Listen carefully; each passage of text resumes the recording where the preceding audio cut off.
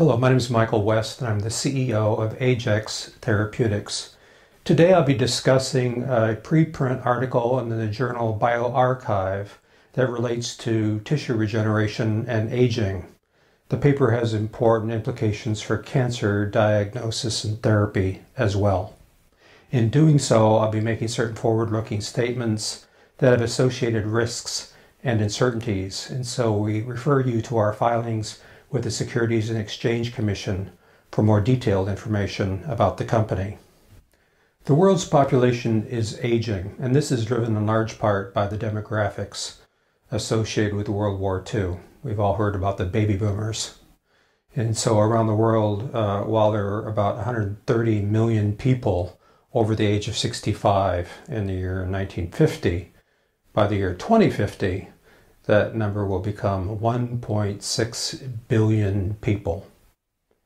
And the problems of aging and the costs associated with it, some 80% of all healthcare expenditures in the United States, for instance, is associated with chronic and degenerative diseases. And so we can think of Parkinson's disease, the leading complaint of aging, uh, chronic uh, arthritis, and so on.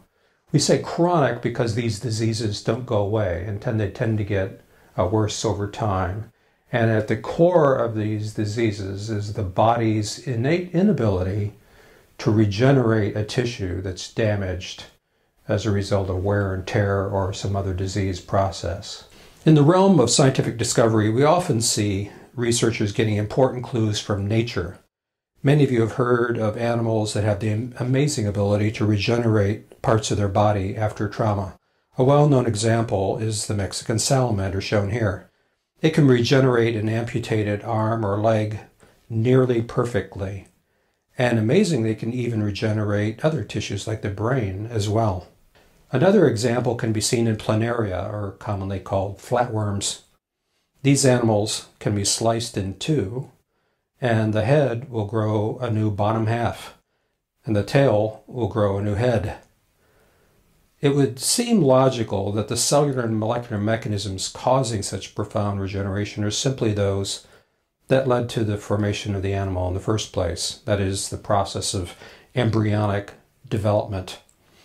Wouldn't it be wonderful if we could learn the molecular machinery that caused this regeneration to happen and apply it in medicine? Can you imagine the consequences for aging and age related disease? An early clue came from the work of Henry Wilson, who showed that some animals, like marine sponges, could be disaggregated into individual cells, and then the cells could reassemble themselves back into an intact sponge again. In this video, you can see our scientists repeating this famous experiment. A marine sponge is taken as disaggregated into separate cells in a dish under a microscope. And then in this time-lapse video, you can see the cells of the sponge recognizing and adhering to one another to reassemble new baby sponges.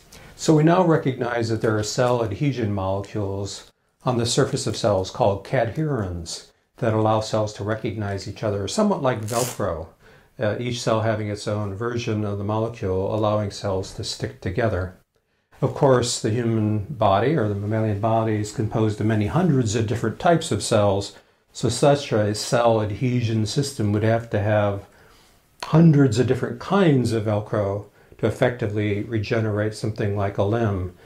But if such a system existed, it could allow for the complex organization of a tissue uh, such that with time and simply uh, by chance, these uh, cell adhesion molecules could cause the reaggregation of cells and the rebuilding of tissues to reform even a complex tissue. This is the focus of the paper we will discuss today. Our preprint is published in bioRxiv and is available online. It's authored by scientists at AgeX, our subsidiary Reverse Bioengineering, and other collaborators shown here, and it's titled Differential Expression of Alpha, Beta, and Gamma Protocadherin Isoforms During Differentiation, Aging, and Cancer.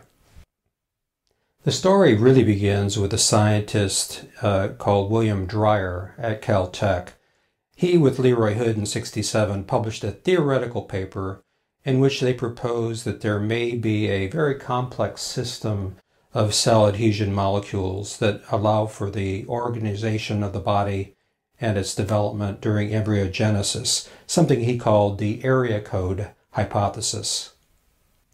Such a cluster of genes was indeed reported years later called the clustered protocadherin locus.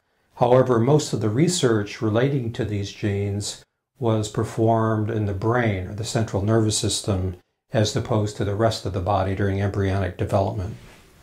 In our paper, we show that the clustered protocadherin genes are differentially expressed in embryonic cells compared to adult counterparts. This is significant because human beings share with the Mexican salamander and animals such as planaria a profound capacity for scarless regeneration early in our development. Furthermore, the complex nature of the genes allows for hundreds of different types of cell adhesion, like the hundreds of different kinds of Velcro I mentioned earlier. We also show in the paper that the cell adhesion genes are re-expressed abnormally in cancer. That means that this new insight may lead not only to improved technologies to track and induce tissue regeneration, but also to diagnose and treat cancer more effectively. Lastly, we show how the expression of these genes is changed when cells reach the end of their lifespan. This, together with the potential regulation of the genes by nuclear lamin proteins like lamin A, a gene that's mutated in the premature aging syndrome known as progeria, and the presence of age-related changes in methylation in the locus lead us to believe that the clustered protocadherin genes have much to teach us about inducing regeneration uh, in aged patients and in cancer.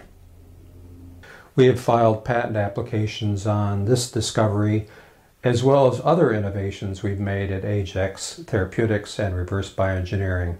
We plan to implement these new technologies in our induced tissue regeneration program, targeting some of the largest unmet needs in medicine the chronic degenerative diseases associated with aging.